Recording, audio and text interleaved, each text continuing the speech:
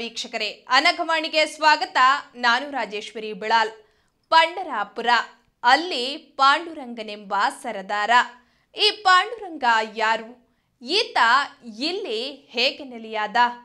ಇಲ್ಲಿಗೆ ಭಕ್ತರು ಹೆಚ್ಚಾಗಿ ಕಾಲ್ನಡಿಗೆಯಲ್ಲಿಯೇ ಯಾಕೆ ಬರ್ತಾರೆ? ಇಲ್ಲಿದೆ ನೋಡಿ ಪಂಡರಾಪುರ ವಿಠಲನ ರಹಸ್ಯ.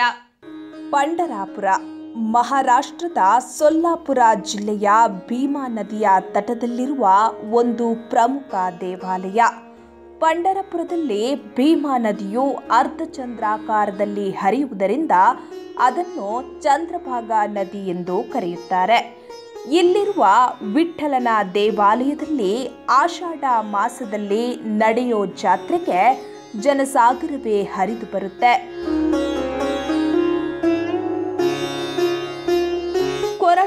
ರುದ್ರಾಕ್ಷಿ ಮಾಲೆ ಹಣೆಯ ಮೇಲೆ ಅಷ್ಟಗಂಧ, ಭುಜದ ಮೇಲೆ ವಿಠಲನ ಧ್ವಜ. ವಿಠಲನ ನಾಮಸ್ಮರಣೆಯೊಂದಿಗೆ ವಾರಾಕರಿ ದಿಂಡಿಗಳು ಪಂಡರಾಪುರದತ್ತ ಸಾಗುವುದನ್ನು ನೋಡುವುದೇ ಒಂದು ಹಬ್ಬ. ಇಲ್ಲಿ ಆಷಾಢ ತಿಂಗಳ ಏಕಾದಶಿಯಂದು ಭಕ್ತರು ಚಂದ್ರಭಾಗ ನದಿಯಲ್ಲಿ ಮಿಂದು ಪುನೀತರಾಗುತ್ತಾರೆ.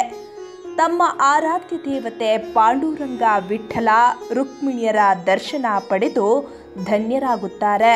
ವಿಠಲ, ವಿಠೋಬ ಮತ್ತು ಪಾಂಡುರಂಗ ಮಹಾರಾಷ್ಟ್ರ, ಕರ್ನಾಟಕ ಮತ್ತು ಆಂಧ್ರ ಪ್ರದೇಶಗಳಲ್ಲಿ ಆರಾಧಿಸಲಾಗುವ ಒಬ್ಬ ಹಿಂದೂ ದೇವರು. ವಿಷ್ಣುವಿನ ಅವತಾರನಾದ ಕೃಷ್ಣ ಇಲ್ಲವೇ ಬುದ್ಧನ ಒಂದು ಸ್ವರೂಪವೆಂದು ಈತನನ್ನು ಪರಿಗಣಿಸಲಾಗುತ್ತೆ. ವಿಠ್ಠಲನನ್ನು ಹಲವು ವೇಳೆ ಸೊಂಟದ ಮೇಲೆ ಕೈಯಿಟ್ಟುಕೊಂಡು ಒಂದು ಇಟ್ಟಿಗೆಯ ಮೇಲೆ ನಿಂತಿರುವ ಕೆಲವೊಮ್ಮೆ ಅವನ ಮುಖ್ಯ ಪತ್ನಿಯಾದ ರುಕ್ಮಿಣಿ ಜೊತೆಯಲ್ಲಿರುವಂತೆ ಚಿತ್ರಿಸಲಾಗಿದೆ. ಪಂಡರಾಪುರದ ಪಾಂಡುರಂಗ ಅಂದ್ರೆ ಇಟ್ಟಿಗೆ ಮೇಲೆ ನಿಂತವ ಎನ್ನಲಾಗಿದೆ. ವಿಠಲನು ಮಹಾರಾಷ್ಟ್ರದ ಬ್ರಾಹ್ಮಣೇತರ ವಾರಾಕರಿ ಪಂಥ ಮತ್ತು ಕರ್ನಾಟಕದ ಹರಿದಾಸ ಪಂಥಗಳ ಕೇಂದ್ರ ಬಿಂದುವಾಗಿದ್ದಾನೆ ಹೀಗಾಗಿ ಅದೆಷ್ಟೋ ಭಕ್ತರು ಪಂಡರಾಪುರಕ್ಕೆ ಭಜನೆ ಮಾಡೋ ಮೂಲಕ ಕಾಲ್ನಡಿಗೆಯಲ್ಲಿಯೇ ತೆರಳಿ ಈತನ ದರ್ಶನ ಮಾಡ್ತಾರೆ. ಪಂಡರಪುರದ ತೀರ್ಥಯಾತ್ರೆಯನ್ನು ಈ ಹಿಂದೆ ವಾರಾಕರಿ ಎಂಬ ಪಂಥದವರು ಮಾಡಿಸುತ್ತಿದ್ರು. ಈ ತೀರ್ಥಯಾತ್ರೆಗೆ ಜಾತಿ ಭೇದವಿಲ್ಲದೆ ಅದೆಷ್ಟೋ ಜನ ಆಗಮಿಸ್ತಾರೆ. ಅಂತೆಯೇ ಇದೊಂದು ಸಮನ್ವಯ ಕ್ಷೇತ್ರವಾಗಿ ರಾರಾಜಿಸುತ್ತೆ. ಮಹಾರಾಷ್ಟ್ರದ ಸಂತರು ವಿಠಲನ ಭಕ್ತರಾದ ಜ್ಞಾನೇಶ್ವರ, ನಿವೃತ್ತಿನಾಥ, ತುಕಾರಾಮ, ನಾಮದೇವ, ರಾಮದಾಸ ಮೊದಲಾದವರು ಇಲ್ಲಿಗೆ ಆಗಮಿಸ್ತಾರೆ. ಅಂತೆಯೇ ಶ್ರೀಪಾದರಾಯರು, ವ್ಯಾಸರಾಯರು ವಾದಿರಾಜ ಸ್ವಾಮಿಗಳು ಪುರಂದರದಾಸರು, ವಿಜಯದಾಸರು, ಜಗನ್ನಾಥದಾಸರು, ಮೊದಲಾದ ಕರ್ನಾಟಕದ ಭಕ್ತ ಶಿರೋಮಣಿಗಳು ಆಗಮಿಸಿ ವಿಠಲನ ದರ್ಶನ ಪಡಿತಾರೆ. ಕರ್ನಾಟಕದ ದಾಸ ಸಾಹಿತ್ಯದ ಮೂಲ ಸೆಲೆಯೇ ಈ ಅಭಂಗ ವಿಠಲ ವಾರಕರಿಗಳು ಭಾಗವತ ಸಂಪ್ರದಾಯಕ್ಕೆ ಸೇರಿದವರು. ಪ್ರತಿಯೊಬ್ಬರೂ ಸ್ವಧರ್ಮ ರಕ್ಷಿಸಬೇಕು. ದಿನನಿತ್ಯ ಕಾರ್ಯದೊಂದಿಗೆ ಪಾಂಡುರಂಗನ ಸ್ಮರಿಸುವುದೇ ಭಕ್ತಿ ಎಂಬುದು ವಾರಕರಿ ಭಾಗವತ ಸಂಪ್ರದಾಯದ ಸರಳ ತತ್ವ. ಶ್ರೀ ಪಾಂಡುರಂಗ ಪಾದಯಾತ್ರೆಯನ್ನು ವರ್ಕರಿ ಎಂದು ಕರೆಯಲಾಗುತ್ತೆ. ವರಿ ಎಂದರೆ ತೀರ್ಥಯಾತ್ರೆಗೆ ಹೋಗುವುದು ಹಾಗೂ ಕರಿ ಎಂದರೆ ತೆಗೆದುಕೊಳ್ಳುವುದು ಎಂದರ್ಥ. ವರ್ಕರಿಯ ರೂಢಿ ಏಳುನೂರು ವರ್ಷಗಳಿಂದ ನಡೆದುಕೊಂಡು ಬಂದಿದೆ. ಪಂಡರಾಪುರಕ್ಕೆ ಪ್ರಮುಖವಾಗಿ ನಾಲ್ಕು ದ್ವಾರಗಳು. ಭೀಮಾ ಹಾಗೂ ಶಿಶುಮಾಲಾ ನದಿಗಳ ಸಂಗಮ ಸ್ಥಾನದಲ್ಲಿ ಪೂರ್ವ ದ್ವಾರವಿದ್ದು ಅಲ್ಲಿ ಸಂಧ್ಯಾವಳಿ ದೇವಿಯ ಸನ್ನಿಧಿ ಇದೆ. ಮಾನಾಸೂರದಲ್ಲಿ ದಕ್ಷಿಣ ದ್ವಾರವಿದ್ದು ಅಲ್ಲಿ ಸಿದ್ದೇಶ್ವರನ ದೇವಸ್ಥಾನವಿದೆ. ಭೀಮಾ ಹಾಗೂ ಪುಷ್ಪವತಿ ನದಿಗಳ ಸಂಗಮ ಸ್ಥಾನದಲ್ಲಿ ಪಶ್ಚಿಮ ದ್ವಾರವಿದ್ದು ಅಲ್ಲಿ ಭುವನೇಶ್ವರಿಯ ಅಧಿಷ್ಠಾನವಿದೆ. ಭೀಮಾ ಹಾಗೂ ಭರಣಿ ನದಿಯ ಸಂಗಮ ಸ್ಥಾನದಲ್ಲಿ ಉತ್ತರ ದ್ವಾರವಿದ್ದು ಅಲ್ಲಿ ದುರ್ಗಾದೇವಿ ನೆಲೆಸಿದ್ದಾಳೆ. ಈ ದೇವಾಲಯದಲ್ಲಿ ಹಲವು ಮಂದಿರಗಳಿವೆ. ಅದರಲ್ಲಿ ಒಂದು ರುಕ್ಮಿಣಿ ಮಂದಿರ ಗರ್ಭಗೃಹ, ಮಧ್ಯಗೃಹ, ಮುಖ್ಯ ಮಂಟಪ ಮತ್ತು ಸಭಾಮಂಟಪ ಎಂಬ ನಾಲ್ಕು ಭಾಗಗಳನ್ನು ಒಳಗೊಂಡಿದೆ.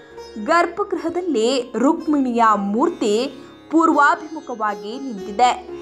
ಈ ಮಂದಿರದಲ್ಲೇ ಸತ್ಯಭಾಮೆಗೂ ಒಂದು ಸಣ್ಣ ಮಂದಿರವಿದೆ. ಈ ಮಂದಿರದ ಅನಂತರದಲ್ಲಿ ಕಾಶಿ ವಿಶ್ವನಾಥ ರಾಮ ಲಕ್ಷ್ಮಣ ಕಾಲಭೈರವ ರಾಮೇಶ್ವರ ಲಿಂಗ ದತ್ತ ಮತ್ತು ನರಸೋಬ ಮಂದಿರಗಳಿವೆ.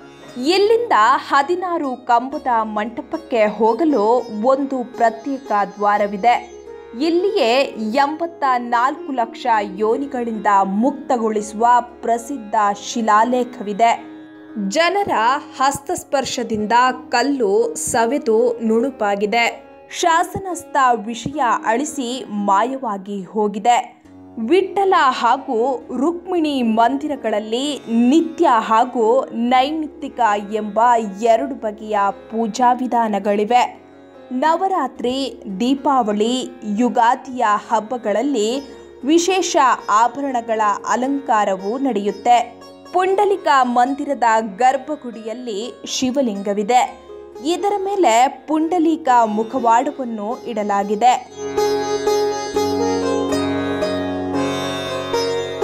ವಿಷ್ಣುಪದ ಇಲ್ಲಿ ಶ್ರೀಕೃಷ್ಣ ಪುಂಡಲೀಕನ ಜೊತೆ ಬಂದಿದ್ದು, ಭೋಜನ ಮಾಡಿದುದಾಗಿಯೂ ಗೋವುಗಳನ್ನು ಮೇಯಿಸಿದುದಾಗಿಯೂ ಹೇಳುತ್ತಾರೆ. ಗೋಪಾಲಪುರದಲ್ಲೊಂದು ಗೋಪಾಲಕೃಷ್ಣನ ದೇವಸ್ಥಾನವಿದೆ. ಇಲ್ಲಿಯ ವೇಣುಗೋಪಾಲನ ಮೂರ್ತಿ ಬಹು ಸುಂದರವಾಗಿದೆ ಪದ್ಮತೀರ್ಥದಲ್ಲಿ ಪದ್ಮಾವತಿಯ ದೇವಸ್ಥಾನವಿದೆ.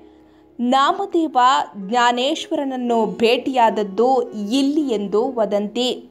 ಪಾಂಡುರಂಗ ಅವರಿಬ್ಬರ ಕೈಯನ್ನು ಇಲ್ಲಿ ಕೂಡಿಸುವುದಾಗಿ ಪುರಾಣದಲ್ಲಿ ಉಲ್ಲೇಖವಾಗಿದೆ. ಹೀಗೆ ಹಲವು ವೈವಿಧ್ಯಮಯ ಹಾಗೂ ರಹಸ್ಯ ಸ್ಥಳವನ್ನ ಪಂಡರಪುರ ಹೊಂದಿದೆ. ಈ ವಿಡಿಯೋ ನಿಮಗೆ ಇಷ್ಟವಾದರೆ ಲೈಕ್ ಮಾಡಿ ನಮ್ಮ ಅನಗವಾಣಿಯನ್ನ ಸಬ್ಸ್ಕ್ರೈಬ್ ಮಾಡಿ ಪಕ್ಕದಲ್ಲಿರುವ ಬೆಲ್ ಬಟನ್ ಒತ್ತಿ.